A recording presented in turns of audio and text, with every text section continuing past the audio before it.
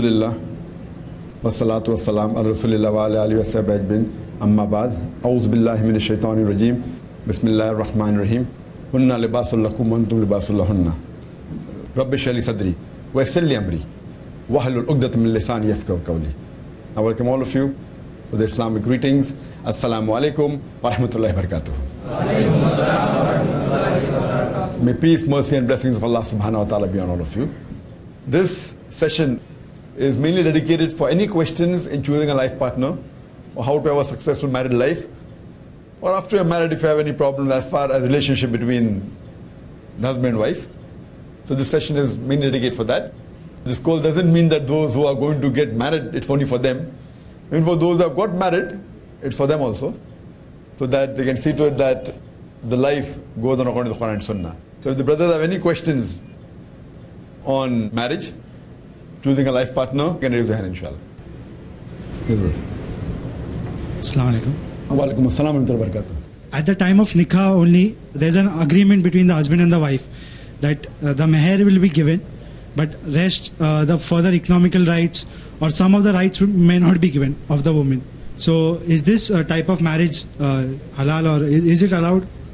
So brother has a question that is it possible that during nikah the marriage stipulated, but can a condition be put that he will not look after her or may not give the economic rights to her? So as far as Islam is concerned, marriage is a misaq, it's a sacred covenant. And any contract can be done as long as it is within the purview of the Islamic Sharia. She cannot ask something to be done which is haram, and she cannot say she will not do something which is farz. For example, she cannot tell the husband that you should have alcohol. Having alcohol is haram. She can't say that you don't offer salah, offering salah is fard. Husband can't tell to the wife that don't wear hijab, or wearing hijab is fard. The husband can't tell the wife that you have alcohol, having alcohol is haram. So you cannot force the husband and wife and wife to husband. The spouse cannot force each other to do anything which is haram and cannot prevent them from doing anything which is fard. Anything else is permissible in the mubah category. Now, as far as the economic rights are concerned, it is the duty of the husband to look after the wife. It's the duty. She can say that fine, even if you give me 10 rupees a month, no problem. Difficult, I know. Or give me 5,000 a month. Because there is no fixed rule that a husband should give 1,000 a month, or 100,000 a month, or 1 million a month. But it is the duty of the husband to take care of the wife. She can put a thing that fine, I wouldn't mind even if you give me a thousand rupees a month. But she can't put a clause, what is his right, he has to do. She can't put a clause saying that I will free you from everything else. Fine, whatever you give me, I'll take. That she can say. He can't put a clause, I'll give you meher, then I won't give a single rupee. No. You can say that, you know, I'm involved in so and so thing. If you think you want to marry a rich husband, I don't want to spend my time earning money, I want to start doing dawa. So that way you can put some clause, but anything which is a fard, you can't let that go. And anything which is haram, you can't force to do. So you have to first check up what is fard and what is haram. But naturally taking care of the wife is a fard.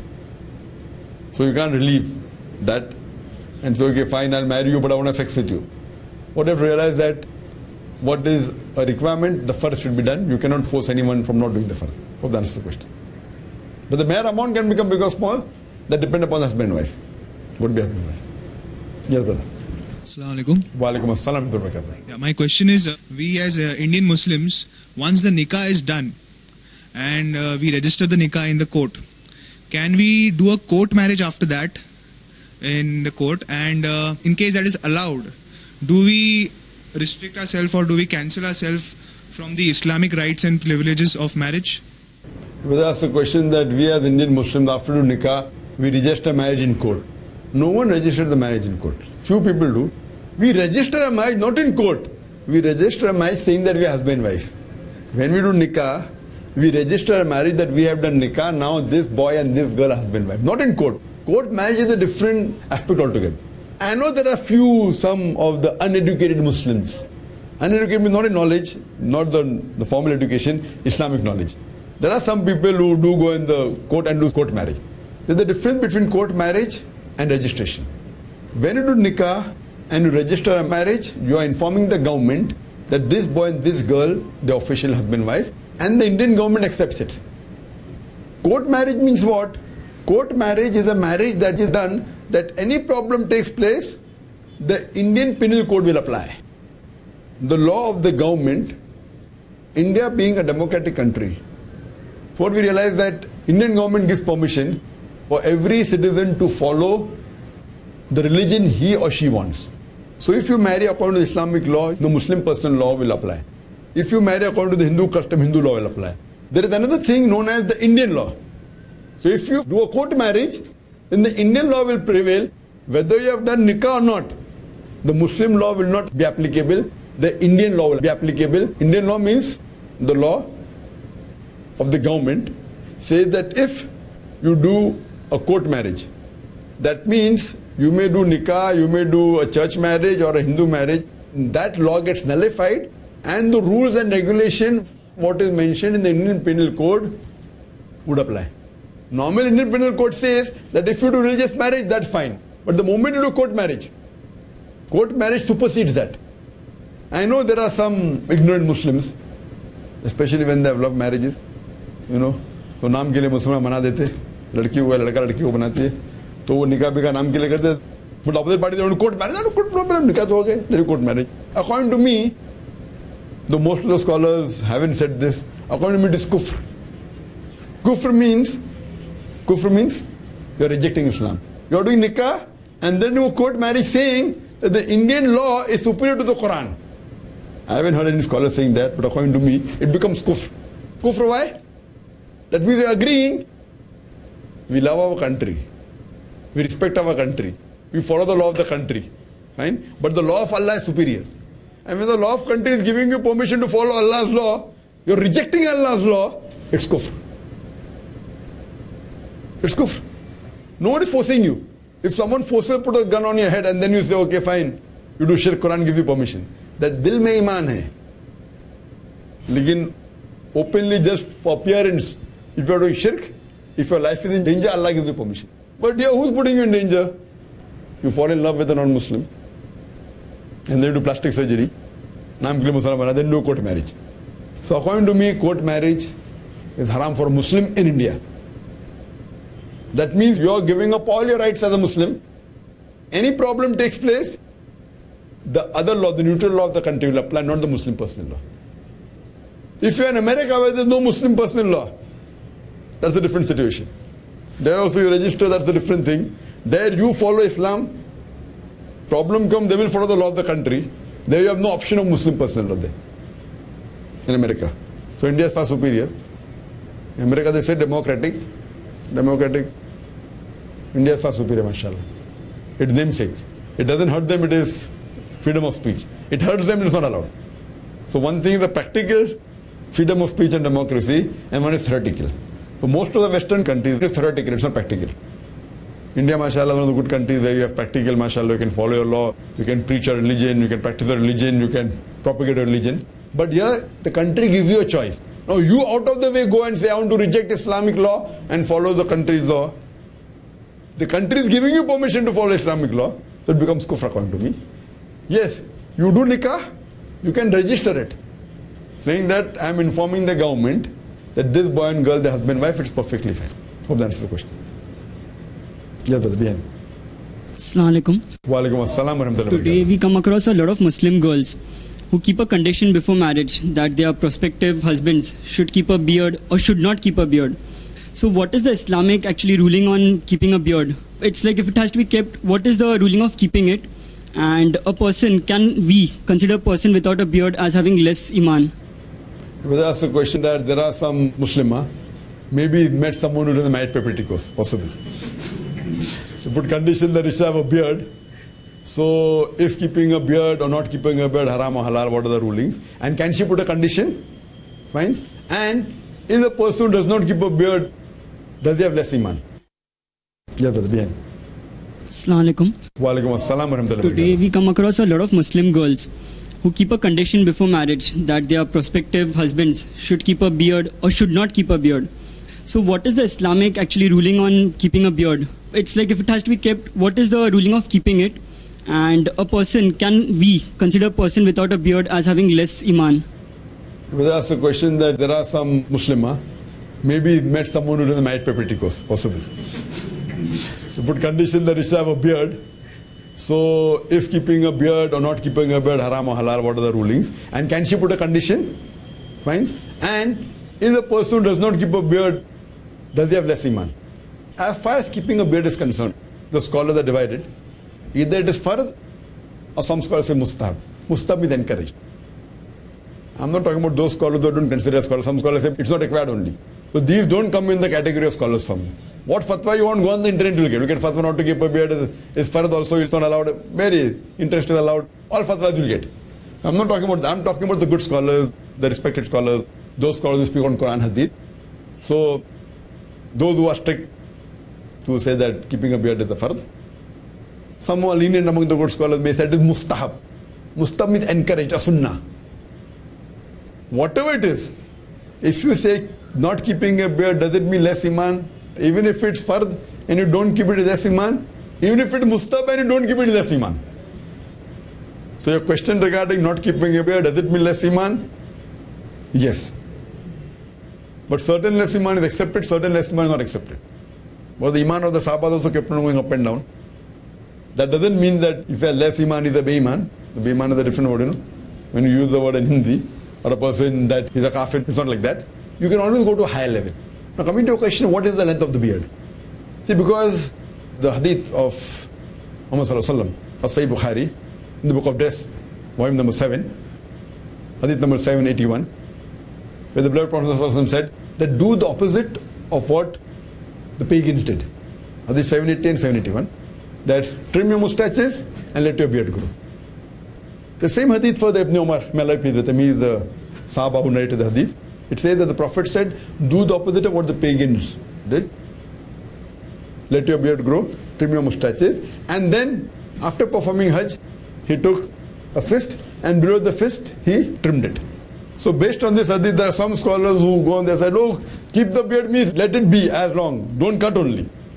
But there are no less than 11 Sahih hadith which say that the Sahabas trimmed the beard. So there are very limited group of scholars who say that let the beard grow means don't cut only. How to grow the beard? The way the Sahabas did. How the Sahabas did? 11 hadith saying that they trimmed. How did they trim? After one fist. So if you want to know the ideal size is one fist. Ideal size. After one fist, little bit of the ज़्यादा हो गया तो trim करो. One fist say one centimeter, one inch, no problem. But every week you trim, every fortnight, every month what you want, but trim it. So the right size, if your ideal size, is one fist. But first thing, at least keep a beard. That doesn't mean a person who doesn't keep a beard of one fist is a kafir. No, it's not like that. If you see, the more you follow Quran and Hadith, the more iman rises. तो first keep up beer at least नमाज पढ़ने पड़ेगा पांच time पढ़ने पड़ेगा सुन्नत भी ना नफिल पर नमाज तो पढ़ो फर्ज है भाई भाई फाइव टाइम पढ़ो ठीक है ओनली फर्ज पढ़ो भाई then do sunnah, then you can do, then you get tahajjud, you know, so everything can be, so first keeping a bed, alhamdulillah. If you ask me a person who keeps a bed but doesn't give one fist, fine, good, mashallah. Maybe he's not keeping one fist, he may not be aware of it. Tomorrow if you're aware of it, you start keeping. It is ignorance. But yet if a person knows and yet doesn't give one fist, I cannot say that, fine. And I'm not looking handsome, I'm looking handsome. You know, so I always tell a person that if the beard is good, good, mashallah, good growth, like the brother next to you, mashallah, very good growth. So if we keep a beard with a good growth, alhamdulillah. But a person who doesn't have good growth like me, I go to the yeah, yeah, yeah. It's not good. The first time I kept a beard, my medical college, oh wow, mashallah, noor chehre pe. I know it doesn't look good. so I said, okay, fine. Mashallah, person is encouraging me. But the hadith of the Prophet, you know the thing that if you cannot read the Quran, and if you read with stuttering, you get double sawab. So based on that, using my analogy, if the beard looks good and you keep, alhamdulillah, if the beard doesn't look good and you keep, you get double sawab. अच्छा लगता है तो सवाब मिलेगा not that you won't get sawab next to you but if it doesn't look good and you're keeping you will get double sawab मैं अल्लाह के रसूल के लिए कर रहा हूँ so both ways you get sawab one more thing if your beard doesn't grow then what it goes in there you know if the Chinese people my son was saying the speaker coming on peace TV no beard I said has a beard and my son is telling has a beard but small beard if you see very close close up you know My son was telling oh, this person have a beard. I said, you can't just blame anyone. I mean, that was a good sheikh, mashallah. But you know, there are some sheikhs, because of the growth, it may come because of the origin. He may be an Indian yet may not have a good beard. So as long as it is there, so your iman is there. So if you are the right size, it is one fist. You can trim it below the fist. But at least keep a beard, keeping a beard, mashallah, sign. And I've given the talk on it. The label shows the intent, wear it. So if you hear that talk, you get more details about this question. But the main question, can a wife put a condition before marriage? Yes, she can put. Even if we say it is fard, she can put. Even if you call mustahab, she can put. Even if you say mubah, you can put. No one says haram to keep a beard. No scholar says that. Maximum they may say rakha re chalenga. So even if it's mubah, if you belong to that group of scholar which is absolutely lenient, yet the wife can put a condition saying that you want a beard because that comes in mubah condition for those. Anyway, if the wife puts a condition, you consider that the wife is virtuous. Right? There are some wives will put that, oh, I don't like the beard. No, because it pokes. It pokes, you get more sawab. If it pokes and you don't like, you get more sawab. Any other questions? Yes, brother. Assalamu alaikum wa rahmatullahi wa barakatuh. Walaikum assalam wa rahmatullahi wa barakatuh. Today we see that Alhamdulillah many young non-Muslims, brothers and sisters, revert to Islam. And most of them keep it secret with their families. So what will be your advice to such new Muslims and especially sisters when it come to search for spouse? Alright? And in future can we expect IRF to come up with matrimonial website? Brother, there's a question that what if certain reverts, there are certain ladies accepting Islam, but they keep it a secret from their families? So is it allowed? And if they have to get married, what is the view? And what about IRF having a matrimonial website? As far as the question of a man or a woman, a boy or a girl, if they accept Islam out of the free will, can they keep it a secret? Yes, they can. You can keep it a secret if you know your life is in danger or there'll be a problem. It's preferable to proclaim. But if you know there are certain family problems, the family members won't like it, your life is in danger, it's acceptable to keep it a secret. As long as Iman is there in your heart and you do the practice, whatever practice of Islam you do silently. No problem. As far as them marrying, if you know that a girl at the age of 20 has accepted Islam and she knows that if I tell my parents there'll be a problem, best is they tell the parents. They may get angry. Throw them into gussa Whatever it is, explain to them, they can do dawa. But if she knows that, you know, the parents, well, that something happens, it will be absolutely detrimental, it will be difficult, etc., etc., she can keep it secret. She would say, okay, fine, I better get married. Once I get married, then I'll tell my parents, so the whole thing is safe, because in the Indian government, after the age of 18, you can get married. She has the right to choose a life partner. So then she looks for a life partner and says, I'll keep it a secret with my parents for a few months till I get a life partner. No problem. So it's permitted in Islam. There's no problem at all. She can keep it a secret, but preferable to say. But if she knows that I can delay my saying and find a good husband, that's also permissible. As far as the second part of the question that why doesn't IRF have a matrimonial website? We have a matrimonial department. I don't know if you're aware of it or not. I'm already engaged. You're engaged? MashaAllah. After the course, only you don't change your life partner, no? No, no. See, once you're already engaged, you have two options. What do you learn from you tell your fiancé to better follow it. Right? Those who are already married, we don't ask them to divorce. we tell them that you tell them that they should do the marriage preparatory course among the ladies, so both can be fine. And the thing is that all those who have come here, told Brother Nisar, that all those who have done the course are not married, they can fill the marriage form. We have a marriage bureau. As I said, at the level is top seater, we have more good Muslimah in the women less than Muslim men. So now once we have the marriage preparatory course, we have more prospective husbands, inshallah. So we already have a marriage bureau. So we haven't gone on the website. Whether to go or not, we'll think of it later.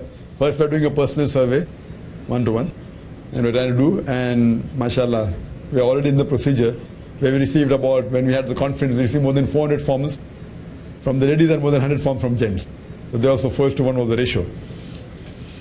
But inshallah, we feel that we'll have more courses and more awareness in Muslim community so that we'll be able to see to the future generation works on Quran and Sunnah. Hope that answers the question. Yes, brother. Assalamu alaikum. Wa alaikum assalam wa rahmatullahi wa barakatuh. My question is Is it obligatory for a working wife to do the household work uh, on the command of her husband? But that's the question. It is obligatory for a working wife to do household work on the command of the husband, irrespective whether it is the command of the husband or not. A good wife, a good Muslimah will see to it that the house works properly. How it works is different.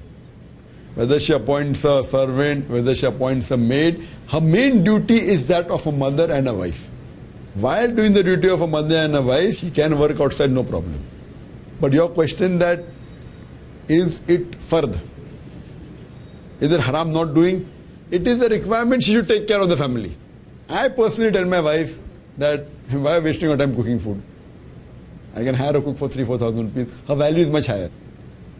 I prefer doing dawa, you know, doing other high level work than doing a work of four thousand rupees. Cook. Fine. I feel my wife is much, much better. She can better work. Fine, if she really wants to cook for once in a while, she can. I've got no problem. But that's my requirement. Why are you wasting your time? Do some dawa, get some sawab, no problem. But as long as she takes care, if she takes care, says, fine, I'm going to cook and go and work, fine. Or she has a cook and keeps the cook as long as the requirement of the household is fulfilled. Fulfilling the requirement of the home, of a mother, of a wife is more important than working outside. Because in Islam, she need not work outside. If she wishes to work, she can, but no one can force her to work outside. But when she is working outside, she should do the duties of the home is important. And then husband says, okay, ठीक है भाई तुम्हें बाहर मिल रहा है बीस हजार रुपया मैं तीन हजार का सर्वेंट रख दूंगा no problem. Husband says, no, I want your special cooking only. Then she has to fulfill. Or she convinces the husband, fine, I'll train the cook. Fine, once a week doing holiday, I'll cook for you. Remaining six days, the cook. It is a give and take relationship. It's not black and white. But she cannot neglect a household work. Because the sawab she gets for being a mother is far superior than the money she earns outside. But same time, if she feels she will earn money and look after the children better, no problem. Everything is subjective. But when she goes out to earn money and the children are getting spoiled, sitting in front of the TV, learning wrong things, then what's the use of the money? So everything is give and take. How will you look after the family? It's not black and white. It will keep on changing depending upon each situation. That is the reason personal counseling is important. Nothing is haram and halal, but a woman has to take care of the family. The status has been given of a mother, far superior to a father, is because she bears the child for nine months. A mother who bears the child for nine months, even if you give a mountain of gold, you cannot substitute what she has done. So that status she cannot forego for a few penny or a few pounds. Hope that answers the question.